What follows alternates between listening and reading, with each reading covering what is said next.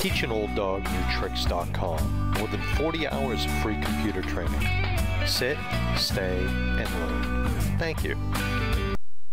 Hi ladies and gentlemen, this is Tony Holowitz and I want to talk to you in this tutorial about QuickBooks about writing checks. Now my experience has been there's a lot of kinds of companies out there. There are a lot of small businesses that use QuickBooks and they might just be a, a small business or even an individual. And as an individual, you might have a checkbook that you carry around with you. And when you need to write a check, you simply write the check, record the number and the amount and who you paid, and then just carry that with you. Now, in this day and age, there are so many things done online where we pay with either a credit card or even a debit card. Debit cards typically come right out of your bank account.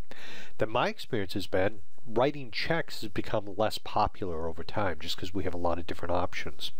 But on the theory that you carry that checkbook around with you, there is two ways really to write checks, and I just want to talk to you about that. The first way is let's say you're a bigger company and you have pre-printed checks that you put in your printer. Well, if you click on the write check icon right here, you can go in and you can write a check. And in a previous example, we had written a check to Verizon. So let's say we want to write a check to Verizon and do this. This was our example before, and I'm just going to ignore this for now by clicking on continue writing check. Let's say we want to write a check for $400 to Verizon. I'm going to hit the tab key to move on. And in a nutshell, what we can do is we can print this later, we can print it right now. And if we have pre-printed forms, we're all set. What I'm going to do is I'm going to clear this because I really don't want to do this. And I'm going to go back to the home page by clicking on home. And I'm going to go back down to check register. Now we had previously created a checking account or a bank account. So let's say that we're that type that we carry the checkbook with us and we write the checks and then maybe once a week or once a month when we reconcile our bank account we have to go in and deal with the register.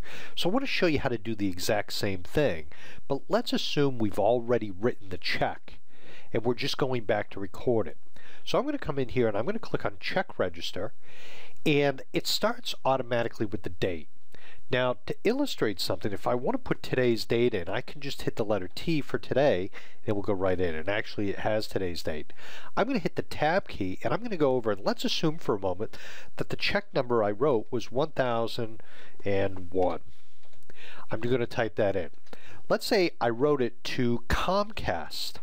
So I'm going to type in Comcast. Now, just so you know in advance, this is not in our list of vendors at this point.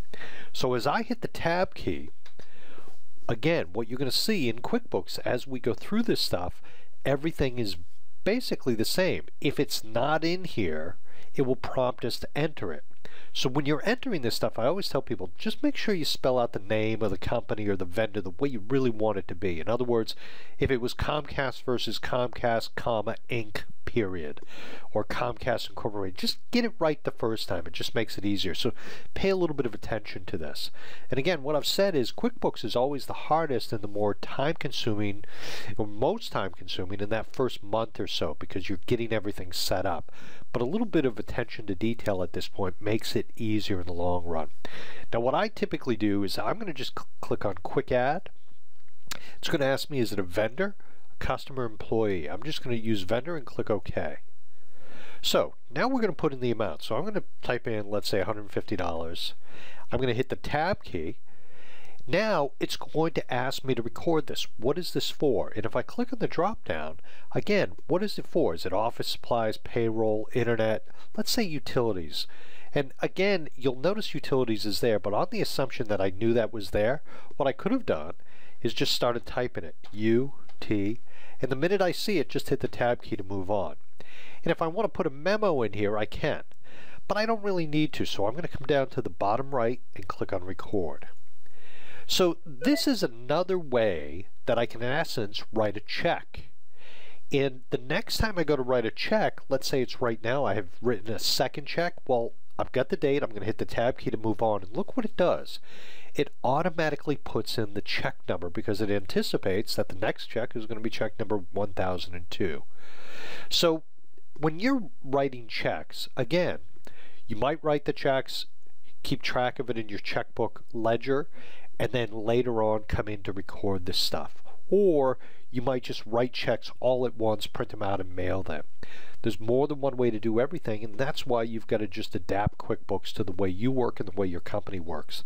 And through a little bit of time and you know just patience, you're going to figure this stuff out no problem. So if you have any questions on this, again, I'm always available. You can reach out to me. But again, my name is Tony Holowitz, and I want to thank you for your time. Have a great day.